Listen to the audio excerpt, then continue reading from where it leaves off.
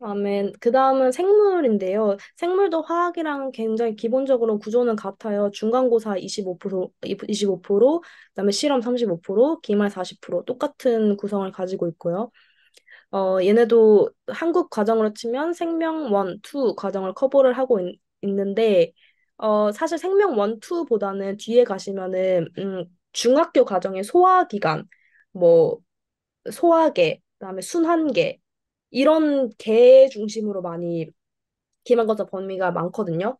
그, 근데 그게 한국 과정에서 저도 사실 찾질 못해가지고 계속 그냥 영어로 된 강의만 계속 들었는데 유튜브로 어 중간고사 보면은 생명원에 들어가는 게 맞아요. 광합성 뭐 이런 것들. 근데 생, 그 후반에는 순환계, 뭐 뇌, 그다음에 뭐 배출계 이런 것들을 많이 배우고 그게 이제 약대에 연관이 된다고 하더라고요.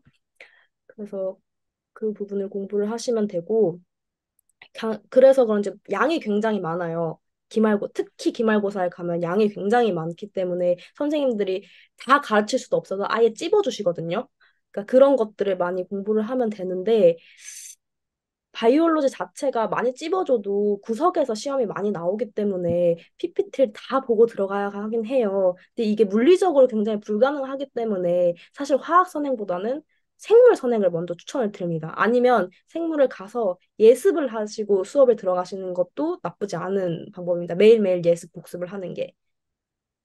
어, 똑같이 얘도 보고서도 35% 들어가고 이제 뭐 소변 내 포도당 수치 첨가 저희는 소변 내 소변 샘플을 주고 포도당 수- 수치를 측정하고 거기서 이제 당뇨 환자가 누구냐 이런 걸 그래프를 그려서 찾고 이런 것들을 보고서를 했는데 화학 보고서보다는 음 화학보다는 조금 더 실험이 어려웠어요. 대신에 선생님이 굉장히 한팀 한 팀 붙어서 잘 지도를 해 주시기 때문에 실험은 성공하기가 괜찮았고요.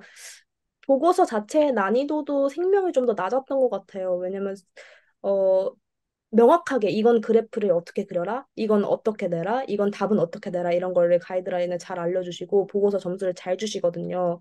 그렇기 때문에 보고서에서 점수를 얻는다는 마음으로 하시면 사실 시험을 조금 못 봐도 보고서에서 어그 많이 할수 있습니다.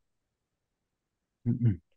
그 나중에 바이올로지와 케미스트리 어떻게 공부했는지 뭐 이런 것들을 조금 뭐죠? 제 일단 제 학생들이 좀 문의를 하면 좀 부탁 좀 드릴게요. 그래서 미리 네네. 좀 준비를 해서 갈 수 있도록 그죠? 물론 네. 자료하고 뭐 이런 걸 있지만 뭐 보니까 제 학생들 평균적으로 보면 뭐 학교 자료하고 뭐 일반적인 건 제가 좀 드리거든요. 그리고 A레벨 교재 이런 걸 보고요. 그다음에 온라인으로 좀 보고요. 왜 그렇게 어, 뭐좀 생명은 했었던 근데 음, A레벨을 볼 필요는 없는 것 같아요, 교재를. 제가 보면 보는데 A레벨을 볼 필요는 없고 제가 보기에는 PPT를 외우는 게 더 중요하고요. PPT를 외우려, 외우는데 내가 이해가 안 간다. 그러면 강의를 들으시는 게 음, 더 음. 나은 것 같습니다. 그래요. 지금 그죠? 그리고 지금 이어서 어제 했던 그죠? 뭐 했던 강의, 그다음에 제 학생들이 이렇게 했던 것들을 좀 많이 보고 나에 맞는 걸 좀 좀 계속 좀 찾는 연습을 좀 해야 될 거예요. 그죠? 네. 네. 뒤에 보면 오른쪽 화면에 있는 게 중간고사 가이드라인이거든요. 보시면 cell structure and function 하면서 뭐 compare and contrast between 어, prokaryotic and eukaryote cells. 그러니까 어, 이게 단세포랑 다세포 이런 것들을 구, 어떻게 구분하냐. 둘이 구분점을 써라. 이게 문제로 딱 나와요.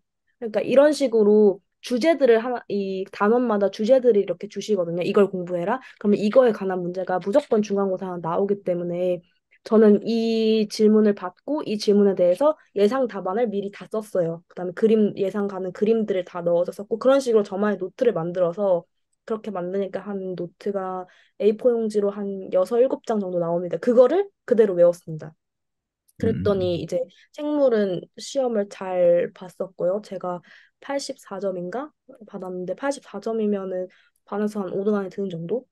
그 정도 보시면 되고 그다음에 오른쪽에 있는 거는 그 실험 보고서예요. 이렇게 그래프를 그려가지고 어 그냥 discussion 그래프를 그리고 그다음에 discu- discussion 하고 이런 식으로 얘도 한 일곱 장 정도 나오게 쓰시면 됩니다.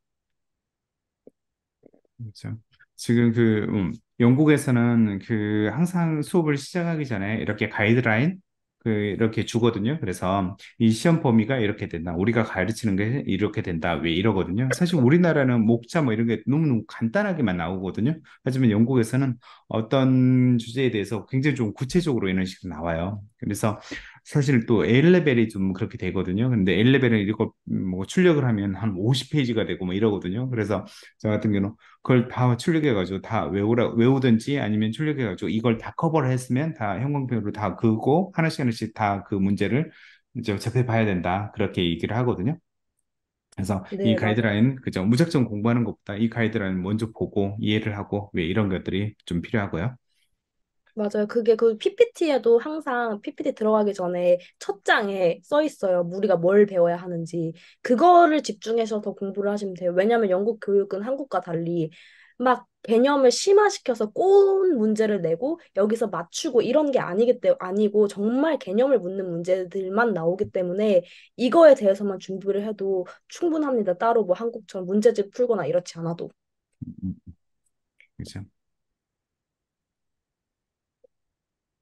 자, 그러면